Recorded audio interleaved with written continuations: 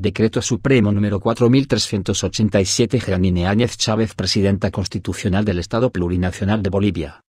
Considerando que el parágrafo I del artículo 35 de la Constitución Política del Estado, determina que el Estado, en todos sus niveles, protegerá el derecho a la salud, promoviendo políticas públicas orientadas a mejorar la calidad de vida, el bienestar colectivo y el acceso gratuito de la población a los servicios de salud.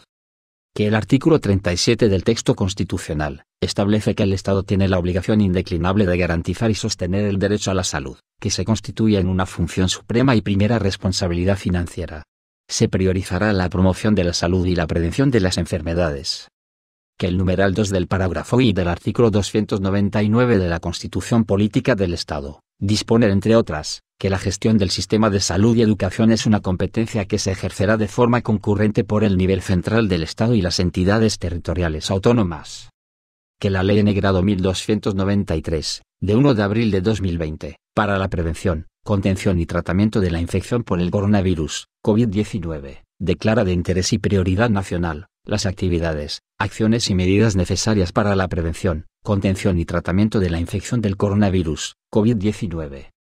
Que el artículo 2 del Decreto Supremo N grado 4179, de 12 de marzo de 2020, declara situación de emergencia nacional por la presencia del brote de coronavirus, COVID-19, y fenómenos adversos reales e inminentes provocados por amenazas, naturales, socionaturales y antrópicas en el territorio nacional, que el Decreto Supremo N grado 4196, de 17 de marzo de 2020, declara emergencia sanitaria nacional y cuarentena en todo el territorio del Estado Plurinacional de Bolivia, contra el brote del coronavirus, COVID-19.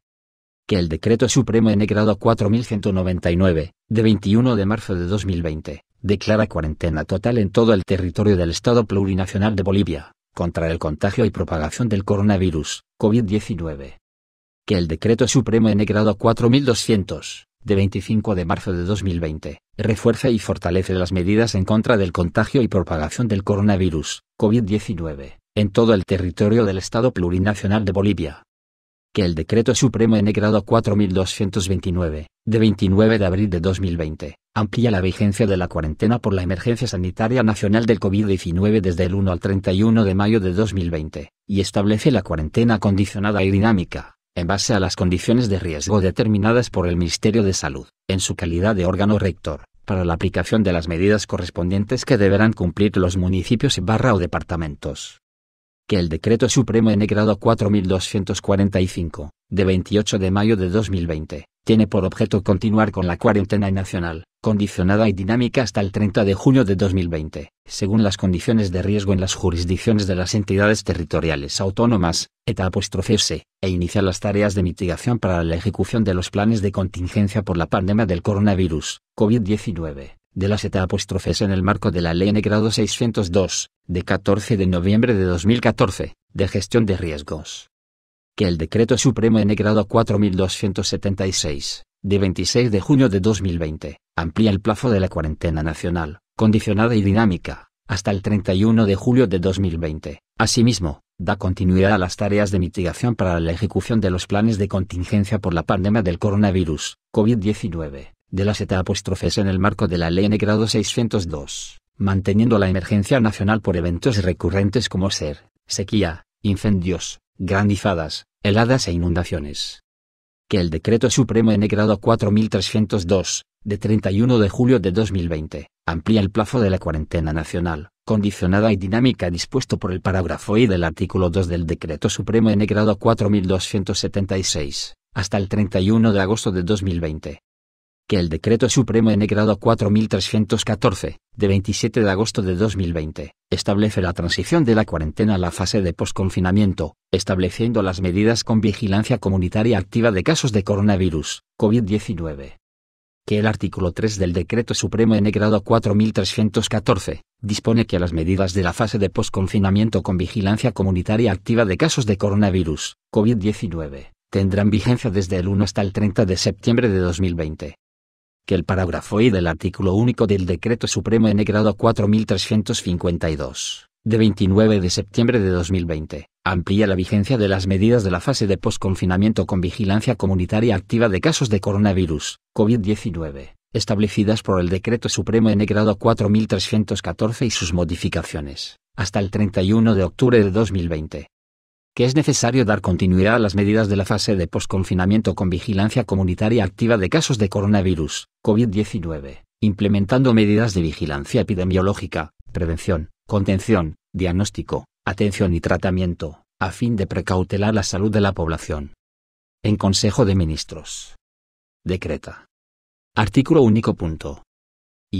Se amplía la vigencia de las medidas de la fase de posconfinamiento con vigilancia comunitaria activa de casos de coronavirus, COVID-19, establecidas por el Decreto Supremo N grado 4314, de 27 de agosto de 2020 y sus modificaciones, hasta el 30 de noviembre de 2020.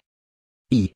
Se mantendrán las actividades de vigilancia activa tanto para el coronavirus, COVID-19, como para otras enfermedades inmunoprevenibles y estacionales.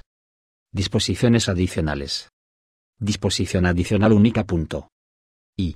Se modifica el parágrafo I del artículo 3 del Decreto Supremo N grado 4314, de 27 de agosto de 2020, modificado por el Decreto Supremo N grado 4352, de 29 de septiembre de 2020, con el siguiente texto.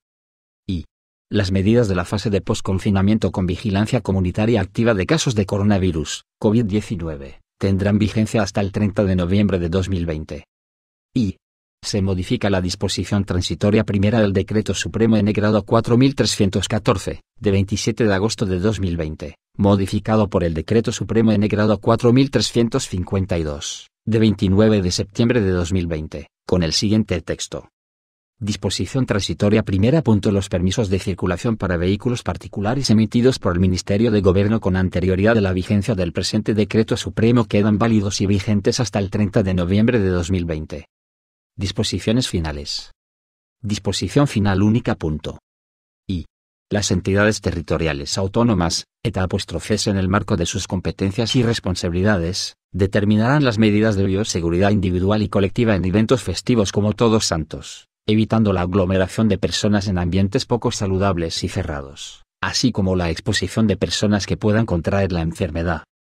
Y, en el marco del artículo 12 del Decreto Supremo N grado 4314, modificado por el Decreto Supremo N grado 4352, las ETA se regularán los eventos públicos que aglomeren personas e incumplan con medidas de bioseguridad individual, para evitar la propagación y contagio del coronavirus, COVID-19.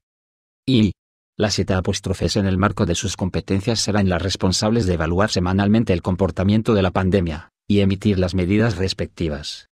Los señores ministros de Estado en sus respectivos despachos, quedan encargados de la ejecución y cumplimiento del presente decreto supremo. Es dado en la Casa Grande del Pueblo de la Ciudad de La Paz, a los 28 días del mes de octubre del año 2020. CDO. Jeanina Áñez Chávez, Yerko M. Núñez Negrete, Karen Longarique Rodríguez, Arturo Carlos Murillo Prijic, Luis Fernando López Julio, Gonzalo Silvestre Quiroga Soria, Branco Gora Marinkovic Vicevic, Víctor Hugo Zamora Castedo, Álvaro Rodrigo Guzmán Collao, Ademar Guzmán Baibian, Iván Arias Durán, Jorge Fernando Oropeza Terán, Álvaro Eduardo Coimbra Cornejo, Álvaro Tejerina Olivera, María Edi Roca de Sangüesa, María Elba Pinquert de Paz, Víctor Hugo Cárdenas Conde, Beatriz Eliane Capobianco Sandoval,